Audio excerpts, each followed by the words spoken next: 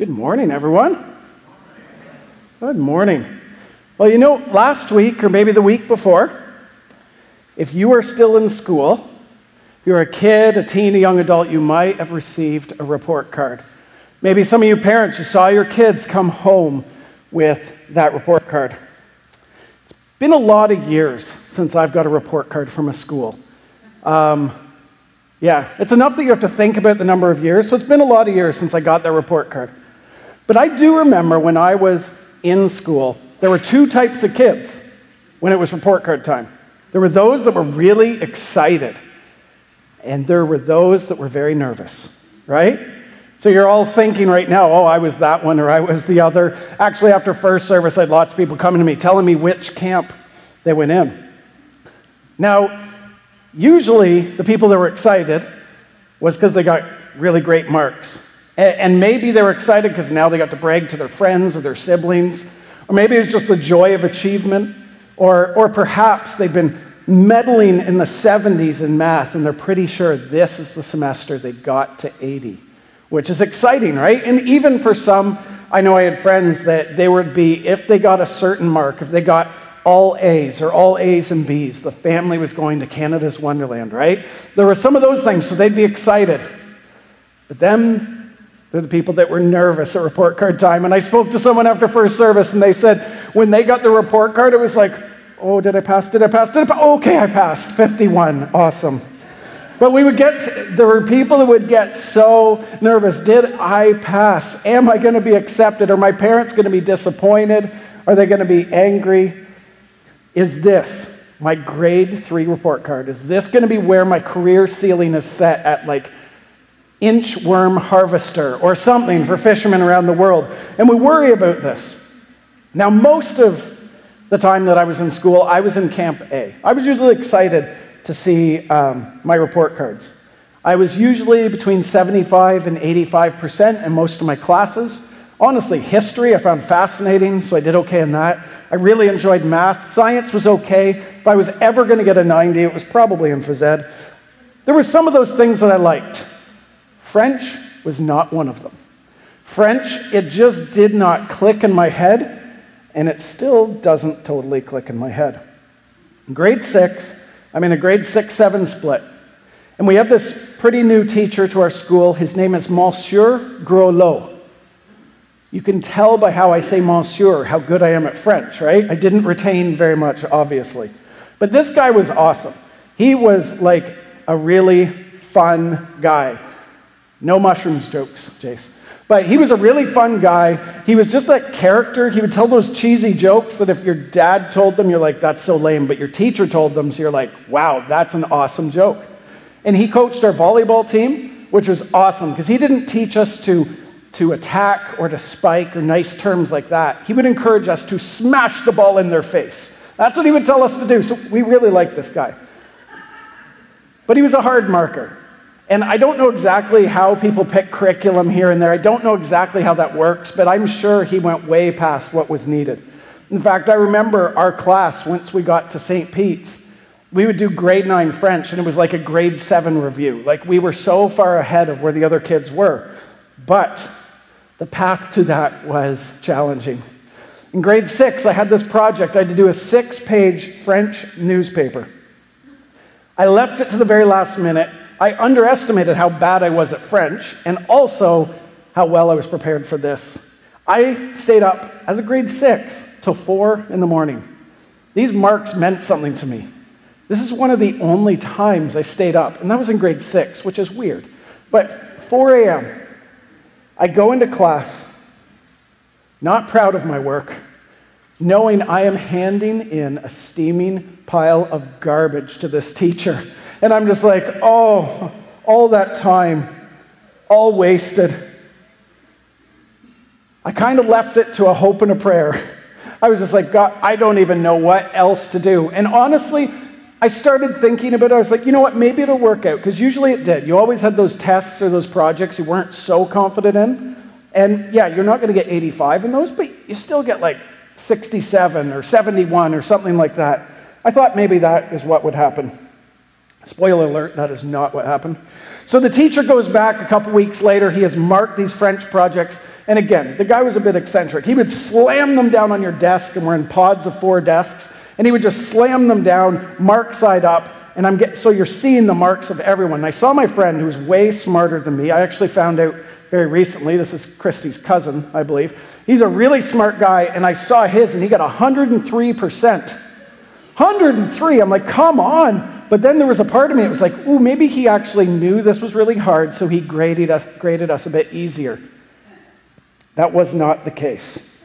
He plopped mine down, and I'd seen A's before. I'd seen lots of B's, the odd C. I hadn't really seen a ton of D's on my work before, and there was none of those. The only place I'd ever seen an F before was on TV or a cartoon or something like that, and I didn't even see that. I saw a big E. Who knew? It didn't mean excellent, I can assure you of that. And underneath that, it was 47 out of 100 do better next time. Do better next time. As an achiever, this gutted me. I got way too much of my self worth when I was younger from my marks. But you know what? That never happened again. Monsieur Grow through that project, gave me a gift that has served me well throughout the rest of my life. I got feedback from someone I trusted and had the opportunity to make adjustments and to change and to get better. And I remember the next year, the French project was on a country. It was on Switzerland, and I remember that one too. I got 90 on that one. So I learned something, but I had to make some adjustments. I had to not only adjust how much time I give these types of projects, but I had to adjust my attitude towards French, which I didn't like, and I knew I just had to adjust it to the end of grade nine because I was never taking it again. But it gave me that opportunity to do that. The tension I want to talk about this morning for you and for myself is this How do we ensure we keep growing after we stop getting report cards? How do we ensure we're still growing when we stop getting report cards? When a teacher stops checking up on us week after week, month after month, semester after semester? Who is it we're supposed to check in with? How do we get a progress report? And, and, we all know, especially those of us that school is a bit of a distant memory, we know that really growth really starts after school, it feels like. There's so many areas that we need to and we do grow in. So, certainly, the answer is not to grow anymore. But there's going to be report cards that you see. I have an example of a report card here uh, for normal subjects math, English, science, French. I was kind to myself, gave myself a D minus there.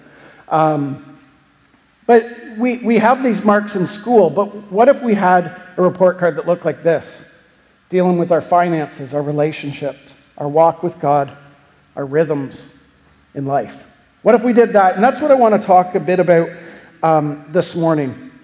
How important it is to reflect ourselves so we actually find some of this out, to be able to ask people that are around us to give us honest feedback, the Monsieur Grow lows of our life, but then, of course, to go to God with this as well, which is where we're going to uh, be spending a little bit of time right now. Now, I want to read through a chapter in the book of Psalms.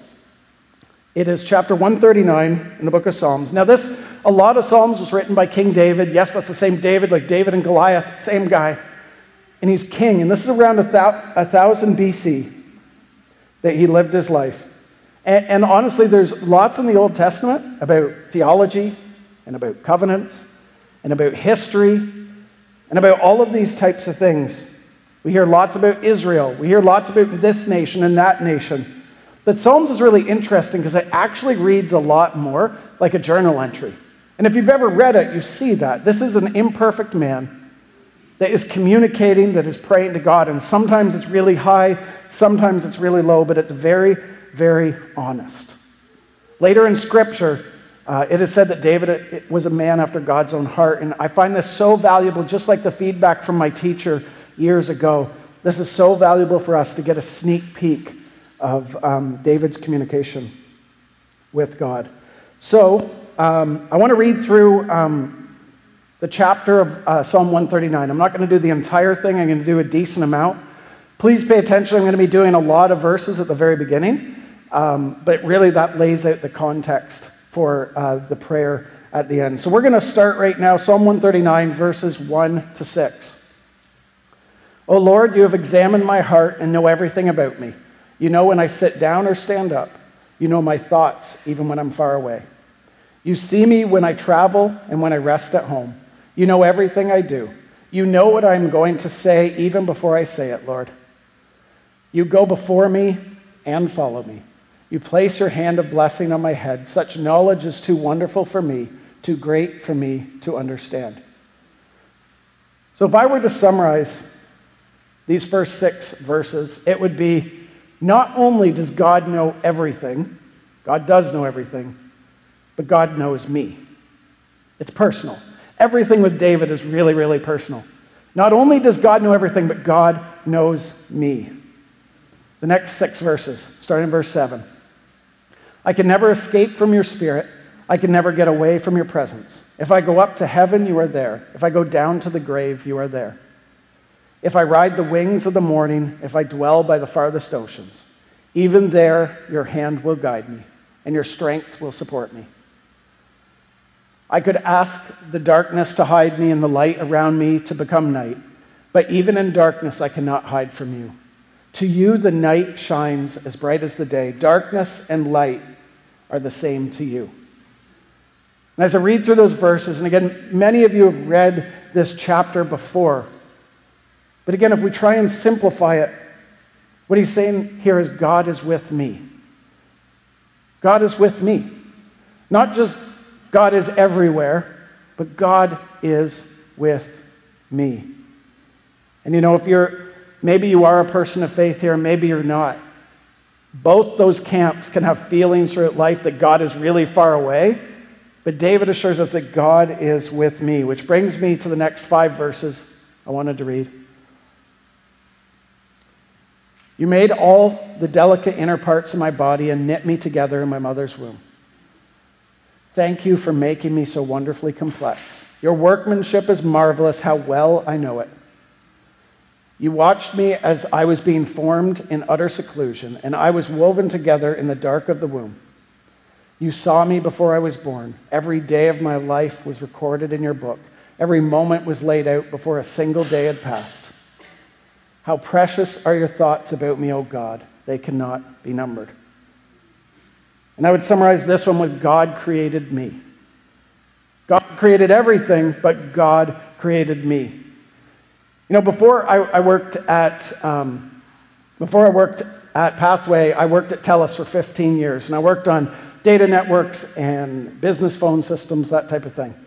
And there was a lot of projects I was involved in, but probably the biggest was our local hospital. When it was new, I think in and around 2008, I spent months and months, close to a year before that, when before nurses or doctors or patients or even room numbers or doors were in there, I was wandering those halls. I was making sure wires were going where they needed to go. I would go from a patient room to a connection box full of wires and connectors, knew where all the communication rooms were, one on every ward, and how they would all feed to the main center where there was uh, the servers and firewalls and all of that equipment, all of that stuff that makes it work. I spent months there. It's all I did. I knew those rooms so, so well. I knew the cables that were in the walls, in the floors, in the ceilings. I really had a very complete knowledge of how that thing worked. And that helped me service it for a lot of years after that. But as I think about it, that knowledge I have of that technical thing is just a blip, not even like the head of a needle about how well God knows us. So you can know somebody, but if you created something, you know it so well. You know it inside and you know it out. So to summarize those first 17 verses, God doesn't just know everything, He knows me. He is not just everywhere, He is with me. He didn't just create everything, He created me. Now, in the next five verses, David switches the tone a little bit, and he's very much talking about a holy God who demands justice, which is very true. And he talks about sin, and David talks about his part in this, in the judgment of sin. But then it leads into, after David has all of these words that are actually quite strong, it leads into this prayer in verses 23 and 24. And this is where we're going to land and spend so much time this morning. This is a courageous prayer that has become a progress report to me. And I'll just read these verses now. Search me, O God, and know my heart. Test me and know my anxious thoughts Point out anything in me that offends you and lead me along the paths of everlasting life. You know, I've heard that verse for years. I've, I've known it a decent amount throughout the years, but it's actually been as part of a mentor group that I've been part of this year that I've really been digging into it, which I'll get into in just a little bit. But this is a prayer that we can pray to a God that loves us, that knows us, that created us, and who is with us. And I want to go through each line um, of that prayer, of those verses, one by one. So I'm going to start with the first part, which is this Search me, O God, and know my heart. David is asking God to search him, to go to the places that self reflection alone cannot go. He knew that God loved him, he knew he could trust God, but he knew he had to invite God into the process if he was ever going to find out what his true motives were, what his heart was. See, personal reflection is good. Um, and I think we have a slide for this. Personal reflection is good, but incomplete without God. It is. And personal reflection is good. Anybody can have personal reflection, but without God, it is simply incomplete. We need more than that. You know, in 2005, which in my head when I first say, I'm like, that wasn't that long ago. That was a long time ago. Uh, 2005, I think we only had one child. We have four now. Um, and they're almost all teenagers. So that's okay. So it was a while ago. Uh, Carol and I bought this house. We were really excited to buy this house because we both grew up in rural areas. And uh, we were just really excited to do this. Now, of course, we didn't have to worry about any of the maybe stuff that doesn't go as well in rural areas. Our parents worried about that. We just enjoyed the benefits of it. Well, we moved in in November, and uh, the entire yard was covered in leaves. And the day we were moving, uh, some of you were there actually helping us move. Uh, the snow started, and the snow stayed all winter. And we started no- noticing we were having some plumbing issues, which was concerning. And then as spring started coming and the snow starts melting, we noticed there was one particular area of our yard that was melting extremely fast. It almost seemed like it was bubbling up. Not a good thing if you live in the country. We also noticed when we would come at our front door that there was this really terrible smell and it was too early for the farmers to be doing their things. We're like, what is going on? So, what I did is I asked some people I trusted my dad, some friends, my neighbor. It's like, what's going on? And I think they knew right away what was going on, but they're like, oh, maybe it could be a smaller thing. But what was happening was our septic system was failing at our house. We had just bought this house we had maybe even bought a few extra things, so money was a little tight, and all of a sudden we're hearing the septic business. And as I started looking into it, I'm like, this is not fun. I do not want to be going here. But we had a next step that we had to do. We had to dig. We had to dig. We had to dig to see what the problem was, how extensive it was. Is it a partial replacement, a full replacement? What is it? And just like this verse, search me, O God, and know my heart. It's an invitation to dig. It requires trust, but it's an invitation to dig. In our lives, I think we all have those areas that maybe don't smell quite right, and we know that. This is an invitation to dig. And I want to ask a question of all of us, myself and you as well, is am I willing to search my own heart? Step one. But am I willing to ask God to do the same? Can I trust God enough to invite Him into that process? It brings us to the second line, which is this Test me and know my anxious thoughts. David knew that anxious thoughts or fear, that was just evidence of areas where he didn't fully trust God. He didn't fully trust God because fear and anxiety, it will strangle the life out of you. It'll strangle progress and growth. Honestly, nothing paralyzes you quite like fear. And I don't know if any of you have been there before where it's like something you do that's really scary. Maybe it's an amusement park or maybe it's something in life and you just freeze. You're like, I can't go anywhere. That's the same idea, and we have this happen in our life all the time. It might be the fear of speaking out, it might be the fear of leaning in, it might be the fear of starting some new venture that is exactly what God has created you to do, but you're afraid because there's a chance of failure. Or maybe it is a fear anxiety to love deeply once again after you've been hurt. Back to the septic example, we had lots of fears and anxiety the more we were finding out about this. We knew that this could be not very good. It was very tempting just to freeze and do nothing. Maybe it'll just fix itself. That does not happen. that does not happen.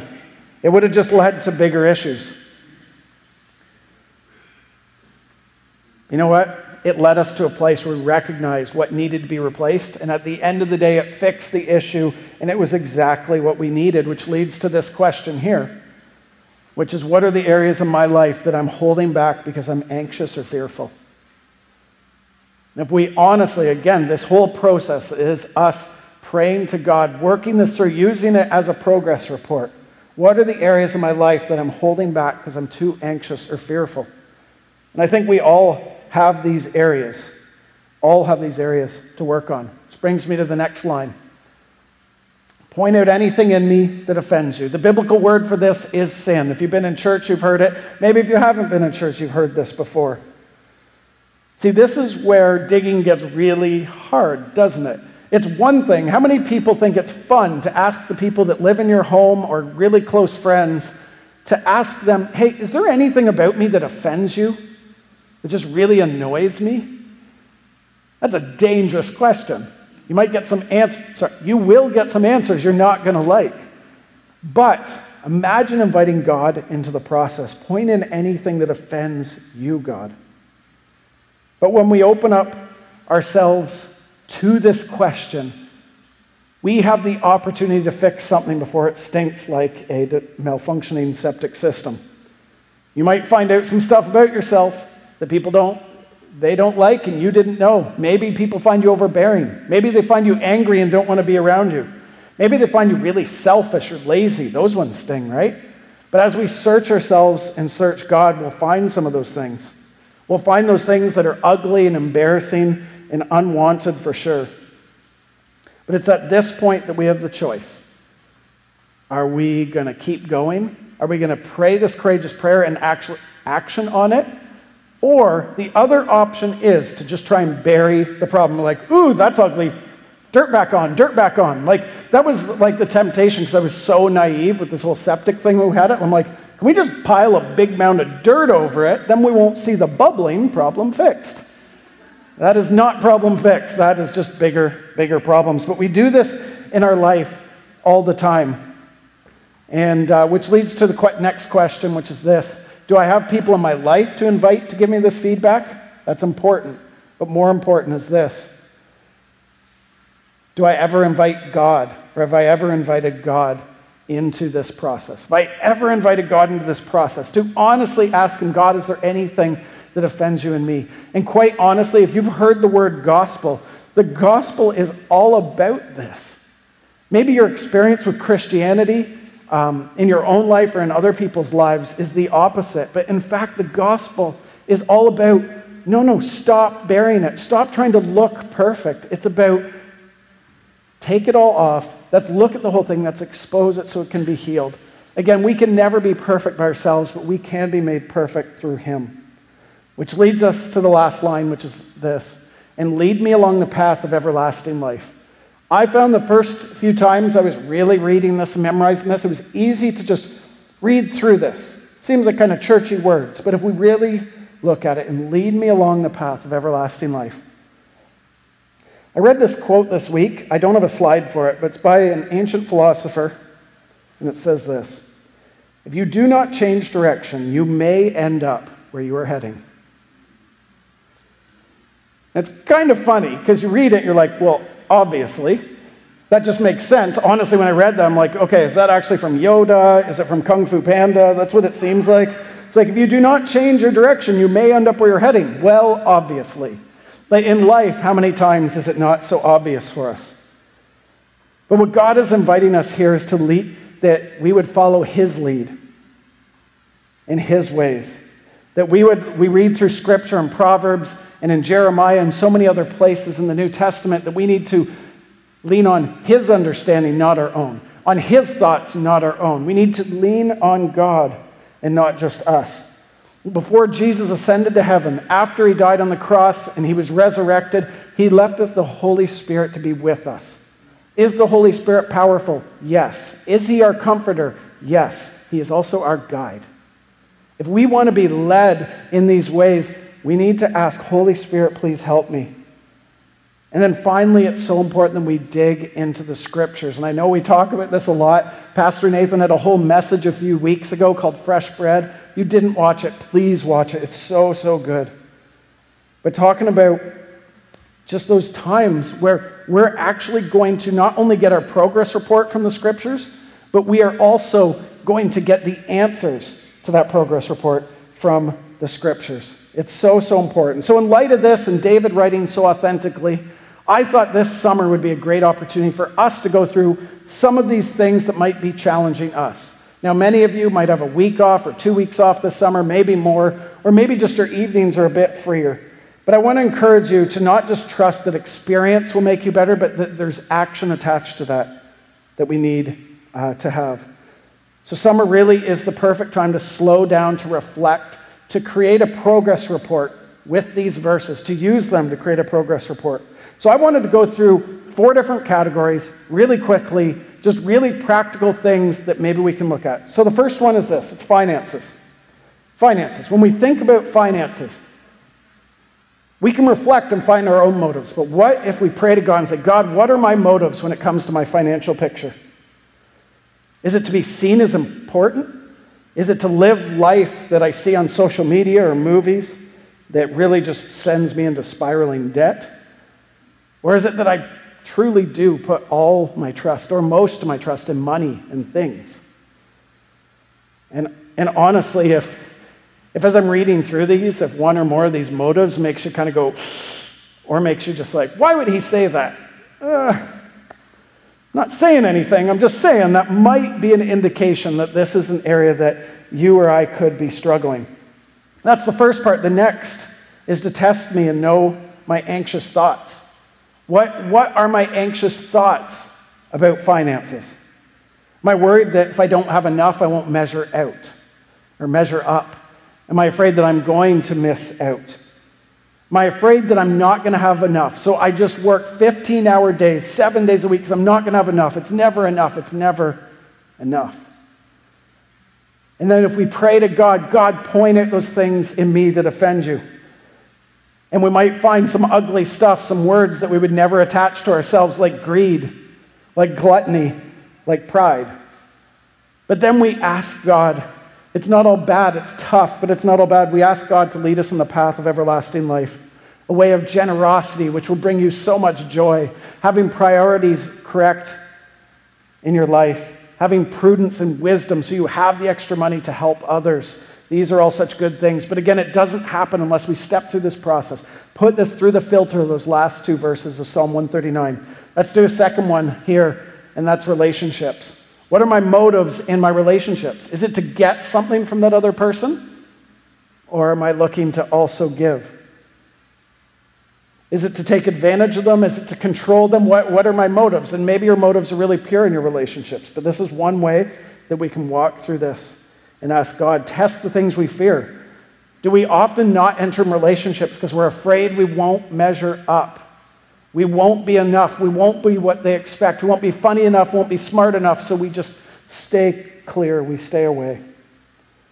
Maybe it's past hurts that are there. Maybe you've been controlled in a friendship or relationship before and you're so afraid of that. We need to pray, God, point those things out in me. And then here we go point out the sin or the things um, that are holding me back from you.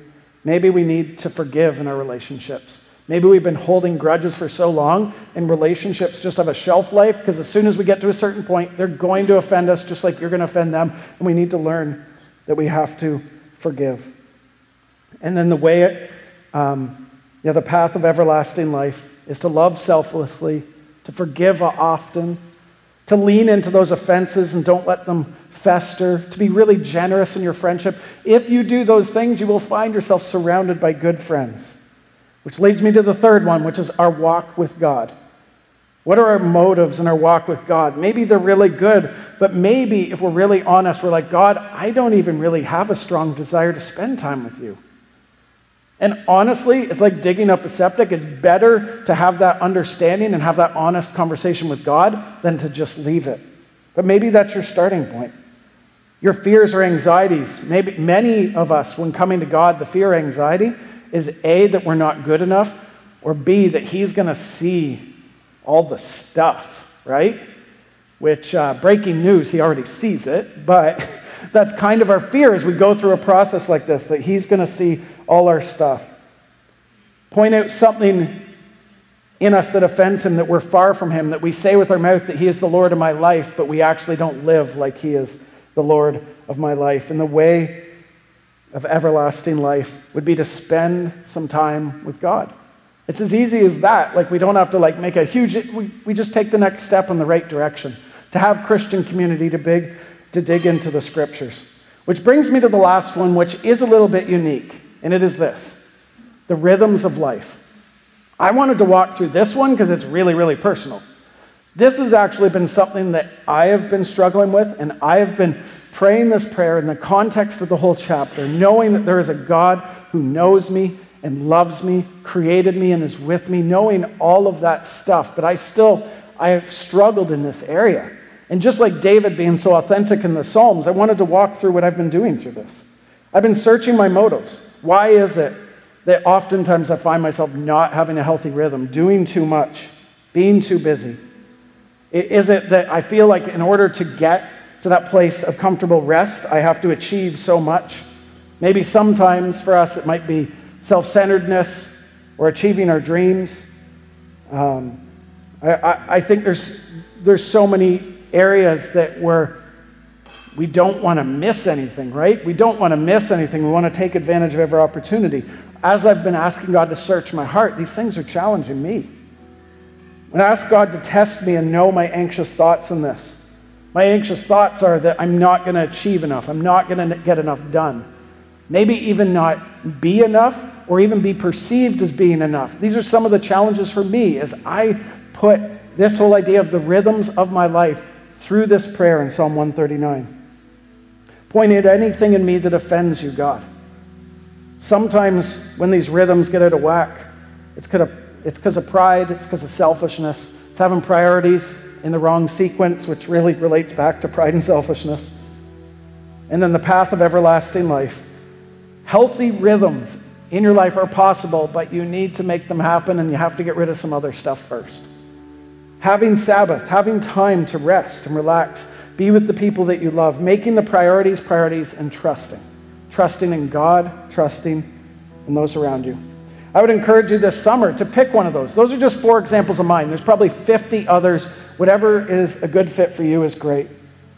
Want to start asking others around us, the Monsieur Gros Lows of our life. Ask those people. That's a good starting place, but I would suggest that you also ask God and have some quality one on one time with Him. Which leads me back to the question I kind of started with uh, this morning is how do we ensure that we keep growing after we stop getting report cards? How do we ensure that we keep growing? I think part of it is in the self reflection. As David, again, you read through Psalms, you see that. Part of it is in the other people we can ask. But I think part of it is in this prayer. It's in the heart of this prayer. It's in the actual going through the filter of those last two verses can be an opportunity for us to do this, to get a real progress report. Like, I hope that we wouldn't be people, that we wouldn't be a church that just blindly go through life, just a million miles forward because honestly, the stakes are too high in our life and in eternity. See, if we don't take initiative to get feedback from others, if we don't take initiative to go to God, it won't ever happen. And we won't get those progress reports. And I know report cards sound boring, but they're actually really important to track our progress so we know where we are and we know where we need to go. And if we don't do this, we're going to start seeing bigger issues coming, just like that septic system. It probably started with just not probably being maintained years and years before. But really, in our lives, that can lead to things like burnout. It can lead to relational wreckage all around our lives. It might be bankruptcy. It might be you get to that point in your life that you need someone and realize there's no one around you to go to. Maybe because we haven't been investing in relationships like we should. For some people, there's no answer to the question what happens when I die? What happens when I pass on? from this earth. And in the past couple months, I've had to go to a couple funerals of people I've known. One was a really dear friend whose life ended way, way too early. And another is someone who lived a long life, but I'm so encouraged to know that I know exactly where they are. They're with Jesus right now. But I know there might be people that are here that don't know confidently the answer to that question. Before you dive into anything like finances or relationships or your rhythms of life, please, let's tackle that one. If you've been going through your life just trusting that a hope and a prayer will do it, if I'm just good enough, if I'm a pretty nice guy, if this or that, there's more. I would encourage you to accept Jesus' free gift of forgiveness that he offers to you, free to us, not free to him. But it also comes with an invitation to real relationship. And you might be hearing that relationship with God. What does that even mean? It's possible. God, God wants to be in relationship with you. He knows you inside and out. He is with you, but this is a bit of an active process. We have to turn to Him. But maybe you have eternity figured out, and maybe most of you, all of you, some of you do. That's wonderful. I would encourage you this summer take one or two of these areas, whether it be finances, marriage, relationships. Maybe for you it's, it's lust that you've been battling with for a really long time. Maybe it's like me, it's the rhythms of life that you know aren't quite right. There's something we can do, though. This summer, I hope that we would, would take the time uh, to reflect ourselves. Summer's a good time to do that. You know, looking into some waves or something like that. It's a good time to reflect. Ask some people around you you trust, but please go to God. I know this has been a hard journey of me going through this the past number of months. Search my heart, oh God, that's a hard prayer to start with. But it is also so, so rewarding that we would seek God, ask Him to search our heart and our motives. Ask Him to identify how fear and anxiety is holding us back. How the sin in our lives is not only hurting us, but keeping us from those around us. And ask Him to lead us in the path of everlasting life. And honestly, I hope for each and every one of you, some of you I know really well, some not as well, but I hope for each of you um, that you would see growth and you would see progress in your life. It won't come by just a hope and a prayer, but I hope this prayer that David prayed in Psalm 139 would be a good starting place. So I'm just going to pray, and in a second, Henry's going to come up and go through communion. This is such a great opportunity to truly talk to God. Maybe when someone prays, we're just thinking about other things and what's next and what's coming up. I, I, encourage you as we pray and go through communion to take this time to connect with your Father in heaven. Father, thank you for this morning. Thank you for this word. Thank you for David, God, and the words that, that he penned in Psalm 139, God. I pray that you would give us the courage to pray this prayer, God. That you would search our heart, God. Search my heart, O oh God. Test me and know my anxious thoughts, God. Point out anything in me that offends you and lead me in the path path of everlasting life. God, we pray those words and we pray them in Jesus' name. Amen.